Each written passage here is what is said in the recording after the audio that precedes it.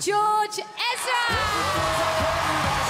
Congratulations to George Ezra. For the best British female solo artist goes to Jorja Smith! Prince,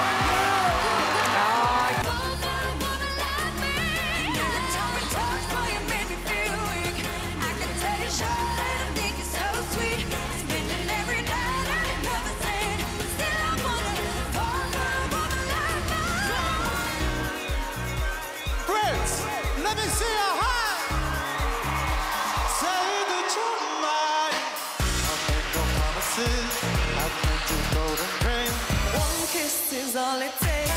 Falling in love with me. Possibilities. I look like all you need. One kiss is all it takes. Falling in love with me. Little Mix featuring Nicki Minaj. But not least, can we just say thank you so much to our incredible fans? We would not be on this stage without you guys. Calvin Harris and Dua Lipa, one kiss.